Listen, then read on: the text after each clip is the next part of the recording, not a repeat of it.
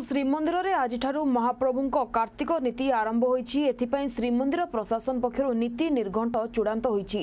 ସବୁ ସେବାୟତଙ୍କ ଭିତରେ ସହଯୋଗ ରଖି ମହାପ୍ରଭୁଙ୍କ ନୀତିକୁ ସୁରୁଖୁରୁରେ ସମ୍ପାଦନ କରାଯିବ ବୋଲି ଶ୍ରୀମନ୍ଦିର ନୀତି ପ୍ରଶାସକ କହିଛନ୍ତି। ଆଶ୍ୱିନ ମାସ ଶୁକ୍ଳ ପକ୍ଷ ଏକାଦଶୀ ଅର୍ଥାତ୍ ଆଜିଠାରୁ କାର୍ତ୍ତିକ ବ୍ରତ ଆରମ୍ଭ ହେବ। ହୋଇଥିବା ନୀତି ନିର୍ଘଣ୍ଟ ଅନୁଯାୟୀ ଭୋର ଚାରିଟା ଦ୍ୱାର ଫିଟା ତାପରେ ମଙ୍ଗଳ ଆଳତୀ ମୈଲମ କରାଯାଇଛି। ତଡ଼ପ ଲାଗି ଅବକାଶ ପରେ ରାଧା ଦାମୋଦର ବେଶ ଗୋପାଳ ବଲ୍ଲଭ ସକାଳ ଧୂପ ବାଳ ଧୂପ ଭୋଗ ମଣ୍ଡପ ମଧ୍ୟାହ୍ନ ଧୂପ ପରେ ଦ୍ୱିତୀୟ ଭୋଗ ମଣ୍ଡପ ପରେ ଦିବା ପହୁଡ଼ ଏବଂ ସନ୍ଧ୍ୟା ଆରତୀ ସନ୍ଧ୍ୟା ଧୂପ ବଡ଼ ସିଂହାର ବେଶ ଆଦି ନୀତି କରାଯିବ। ଚଳିତ ବର୍ଷ ପଞ୍ଚୁକ ପାଞ୍ଚ ଦିନ ପରିବର୍ତ୍ତେ ଛଅ ଦିନ ପଡ଼ୁଛି। ଆଗାମୀ ପଚିଶ ତାରିଖରେ ପ୍ରଭୁଙ୍କ ଲକ୍ଷ୍ମୀ ନାରାୟଣ ବେଶ ଛବିଶ ତାରିଖରେ ବାଙ୍କ ଚୂଡ଼ା ବେଶ ସତେଇଶରେ ନାଗାର୍ଜୁନ ବେଶ ଅଠେଇଶ ତାରିଖରେ ତିବ୍ରିକ୍ରମ ବେଶ ଅଣତିରିଶରେ ଲକ୍ଷ୍ମୀ ନୃସିଂହ ବେଶ ଶେଷରେ ତିରିଶ ତାରିଖରେ ରାଜାଧିରାଜ ବେଶ ଅନୁଷ୍ଠିତ ହେବ।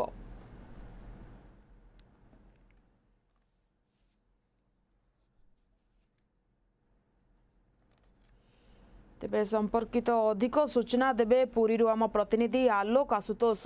ଆଲୋକ ଯଦି କହିବା ଶ୍ରୀମନ୍ଦିରରେ ଆଜିଠାରୁ ମହାପ୍ରଭୁଙ୍କ କାର୍ତ୍ତିକ ନୀତି ଆରମ୍ଭ ହୋଇଛି। ତେବେ ଏଥିପାଇଁ ଶ୍ରୀମନ୍ଦିର ପ୍ରଶାସନ ପକ୍ଷରୁ ନୀତି ନିର୍ଘଣ୍ଟ ଚୂଡ଼ାନ୍ତ ହୋଇଛି। ସବୁ ସେବାୟତଙ୍କ ଭିତରେ ସହଯୋଗ ରଖି ମହାପ୍ରଭୁଙ୍କ ନୀତିକୁ ସୁରୁଖୁରୁରେ ସମ୍ପାଦନ କରାଯିବ ବୋଲି ଶ୍ରୀମନ୍ଦିର ନୀତି ପ୍ରଶାସକ କହିଛନ୍ତି। ଆଶ୍ୱିନ ମାସ ଶୁକ୍ଳ ପକ୍ଷ ଏକାଦଶୀ ଅର୍ଥାତ୍ ଆଜିଠାରୁ କାର୍ତ୍ତିକ ବ୍ରତ ଆରମ୍ଭ ହେବ।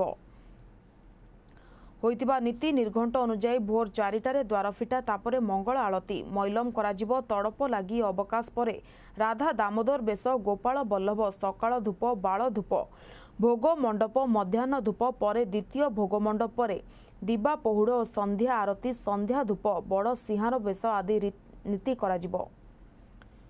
ଆଜି ଶ୍ରୀମନ୍ଦିରରେ ଆଜିଠୁ ମହାପ୍ରଭୁଙ୍କ କାର୍ତ୍ତିକ ନୀତି ଆରମ୍ଭ ହୋଇଛି।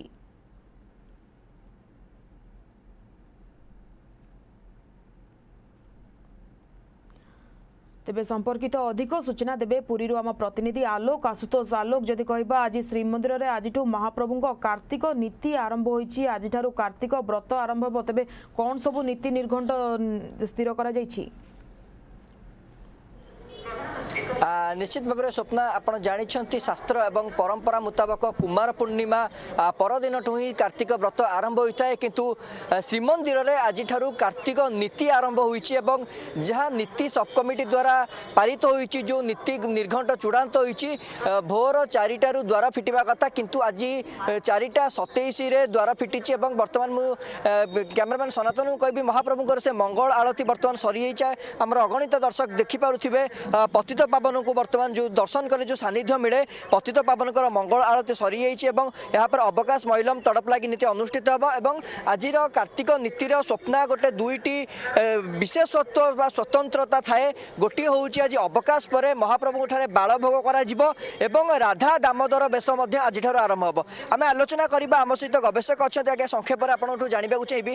ଶ୍ରୀମନ୍ଦିରରେ ଆଜିଠୁ କାର୍ତ୍ତିକ ନୀତି ଆରମ୍ଭ କିନ୍ତୁ ଶାସ୍ତ୍ର ପରମ୍ପରା କହୁଛି କୁମାର ପୂର୍ଣ୍ଣମୀ ଠାରୁ କାର୍ତ୍ତିକ ବ୍ରତ ଆରମ୍ଭ ଦକ୍ଷିଣ দক্ষিণ ওড়িশার কিছু লোক কার্তিক ব্রত আজিঠু কিন্তু আরম্ভ করে তো আজির কণ রয়েছে স্বতন্ত্র নীতিকান্তি মহাপ্রভুঙ্কর এই দ্বারা ভিতনু ধারণ করে যে লীলা করছেন ইয়ে হচ্ছে বিচিত্র লীলা কিনা সবু কিছু সবু কিছু মহাপ্রভুঙ্কর উল্টা কিন্তু সেই অনুসারে মহাপ্রভুঙ্কর আজিঠার রাধা দামোদর বেশ আরম্ভ হয়ে যে কি রাধা দামোদর দয়া করে যে কি রাধা দামোদর সমস্ত এই কার্তিক মাসের দয়া করতে কিনা আজ যে আশ্বিন মাস শুক্লপক্ষ একাদশী ঠার আরম্ভ করি ফের কার্তিক মাস একাদশী পর্যন্ত যে কি পঞ্চুক পূর্ব দিন ঠার পর্যন্ত মহাপ্রভুঙ্কর এই রাধা দামোদর বেশ চালি থাকে এই যে নির্দিষ্ট যে এক মাস ধরি মহাপ্রভুঙ্কর রাধা দামোদর বেশ যে পাঁচ দিন আমার রহিগলা পঞ্চুক সেপাই মহাপ্রভুঙ্কর এপটু পাঁচ দিন কম করা যাই না রাধা দামোদর বেশ করা যাই কিনা গোটে মাস এই যে পালিত করা যাই সেপাই পাঁচ আজ শ্রীমন্দিরের অবকাশ সরিবা পরে বাড়ভোগ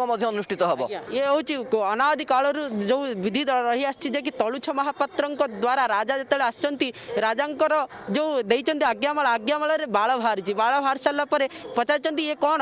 ମହାପ୍ରଭୁଙ୍କୁ ସେତେବେଳେ କହିଛନ୍ତି ସେବକ ପ୍ରିୟ ମାଧବ ସେବକ କହିଛନ୍ତି କ'ଣ ନା ନା ଇଏ ହେଉଛନ୍ତି ତ୍ରିମୁଣ୍ଡ ଚୂଳର ବାଳ ହେଉଛନ୍ତି ଜଗନ୍ନାଥ ମହାପ୍ରଭୁଙ୍କର। ସେତେବେଳେ ମଧ୍ୟ ପରୀକ୍ଷା ଯୋଗ୍ୟ କରିଛନ୍ତି ପରୀକ୍ଷା କରିଛନ୍ତି ତାପରେ ମଧ୍ୟ ମହାପ୍ରଭୁଙ୍କର ସେଇ ବାଳ ମଧ୍ୟ ଦେଖିଛନ୍ତି। ତାପରେ କ'ଣ କରିଛନ୍ତି ଛତିଶ ବାଡ଼ ସମସ୍ତ ମଠ ମନ୍ଦିରକୁ କହିଛନ୍ତି ବାଳ ଧୂପ ଦେବା ପାଇଁ ଯାହାକି ବାଳ ଭୋଗ ନାମରେ ବିଦିତ। ସେ ସମ୍ପୂର୍ଣ୍ଣ ଭାବରେ ମହାପ୍ରଭୁଙ୍କ ଆଗରେ ସେ ଯେଉଁ সমস্ত দুভজা যে কি খইকুরা আউ সমস্ত খুদ চাউল বি মধ্য ভজা লাগি থাকে নিহতি ভাবে স্বপ্ন আজি মহাপ্রভুঙ্ ঠারে বাড় ভোগ হব অবকাশ নীতি পরে এবং কইপারিবা খইকরা ভোগ হব মু ক্যামেরা পর্সন কইবি টিকে তাজা দৃশ্য দেখাইব যেহেতু সিংহদ্বার বাহারে ভক্তঙ্ প্রবেশ উপর তো সিধাসলখ স্বপ্ন আপনার জাঁচান কটকা রয়েছে পবিত্র মার্চ মাস কোড়িয়ে তারিখ ঠার করোনার প্রাদুর্ভাব আপনার দেখুম সিংহদ্বার বাহার ব্যারিকেড সম্মুখে কেতে সংখ্যার ভক্ত মানে পতিত পাবনকু দর্শন করি সান্নিধ্য প্রাপ্ত হচ্ছেন এবং সমস্ত সেই গোটিয়ে ଗୋଟିଏ ଆଶା ରହୁଛି ମନରେ। ସମସ୍ତେ ଗୋଟିଏ ଗୁହାରି କରୁଛନ୍ତି ମହାପ୍ରଭୁଙ୍କୁ କେତେବେଳେ କରୋନା ଟଳିବ ଏବଂ ମହାପ୍ରଭୁଙ୍କ ଦ୍ୱାର ଖୋଲିବ ମହାପ୍ରଭୁଙ୍କୁ ଯାଇ ସମସ୍ତେ ଦର୍ଶନ କରିବେ। ଅନ୍ୟପଟେ ସ୍ୱପ୍ନ ଆପଣ ଜାଣିଛନ୍ତି ଆଜି ହେଉଛି ଯେହେତୁ ପବିତ୍ର ଏକାଦଶୀ ଆଜିର ଗୋଟେ ଗୁରୁତ୍ୱପୂର୍ଣ୍ଣ ଦିନ ଶ୍ରୀକ୍ଷେତ୍ରରେ ଆଜି ହେଉଛି ଭସାଣୀ ଜାତ। ବା ଆପଣ ଜାଣିଛନ୍ତି ଯେଉଁ ପୁରୀ ସହରରେ ସାତ ସାହିରୁ ଯେଉଁ ଚାଳିଶରୁ ଉର୍ଦ୍ଧ୍ୱ ଗୋସାଣୀ ମୂର୍ତ୍ତି ପୂଜା ପାଇଥାନ୍ତି ସେମାନେ ଆଜି ଏକତ୍ରିତ ହେବେ ପୁରୀ ସିଂହଦ୍ୱାରରେ ପୂର୍ବାହ୍ନ ସାଢ଼େ ଦଶଟା ସମୟରେ ଏକତ୍ରିତ ହେବେ ଏବଂ ଏହାକୁ ଦେବୀ ସଭା କୁହାଯାଏ। ପୂର୍ବାହ୍ନ ସାଢ଼େ ଦଶଟା ଠାରୁ ସମ୍ପୂର୍ଣ୍ଣ ଶ୍ରୀମନ୍ଦିର ଚତୁଃପାର୍ଶ୍ୱ চতুষ্পার্শ্ব এবং মরচিকট ছক পর্যন্ত শহে চৌরাশ ধারা জারি হব যেহেতু আজ বিভিন্ন সাহির যে গোসাণী মূর্তি মানে একাঠি হবে এবং রাতে পর্যন্ত প্রায় এ চালিব কিন্তু যা প্রশাসন তরফর স্বপ্না সূচনা দিয়া যাই আপনার জাঁচান কটকা মধ্যে গোসাণী যাতে অনুষ্ঠিত হব প্রতি গোসাণী মূর্তি পাখে সাত জনর অধিক সদস্য রহবে না লাইট রহব না ডেকোরেসন বাজিব না মিউজিক বাজিব না সবু কিছু নিরাড়ম্বর ভাবে পালন করা তবে মোটামুটি ভাবে কইপার স্বপ্না আজ শ্রীমন্দিরের ସ୍ୱତନ୍ତ୍ର ନୀତି ଯଦି କହିବା ସ୍ୱତନ୍ତ୍ର ନୀତି କାର୍ତ୍ତିକ ନୀତି ଆଜିଠୁ ଆରମ୍ଭ ହୋଇଛି ଏବଂ ସବୁଠାରୁ ବଡ଼ କଥା ହେଉଛି ଆଜି ଟିକେ ମହାପ୍ରଭୁଙ୍କ ଠାରେ ଦୁ- ବାଳ ଭୋଗ କରାଯିବ ଏବଂ କହିପାରିବା ମହାପ୍ରଭୁଙ୍କ ଠାରେ ଆଜି ବାଳ ଭୋଗ କରାସାରିବା ପରେ ଆଜି ମହାପ୍ରଭୁ ମଧ୍ୟ ରାଧା ଦାମୋଦର ବେଶରେ ବା ରାଇ ଦାମୋଦର ବେଶରେ ଦର୍ଶନ ଦେବେ କିନ୍ତୁ କୌଣସି ଭକ୍ତ ତ ଯାଉନାହାନ୍ତି। ଅନ୍ୟପଟେ ଆଜି ଗୋସାଣୀ ମୂର୍ତ୍ତିମାନେ ଏକାଠି ହେଇକି ଦେବୀ ସଭା ଅନୁଷ୍ଠିତ ହେବ।